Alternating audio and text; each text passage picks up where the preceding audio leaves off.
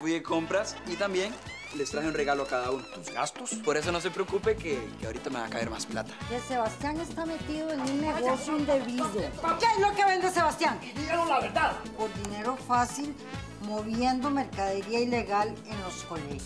Arturo está experimentando la cuarta etapa del duelo amoroso, la depresión. Es mejor prevenir que lamentar. Recuerde, su cita es con la pensión por su teletica. La verdad es que uno no sabe ni qué esperar de las generaciones de ahora.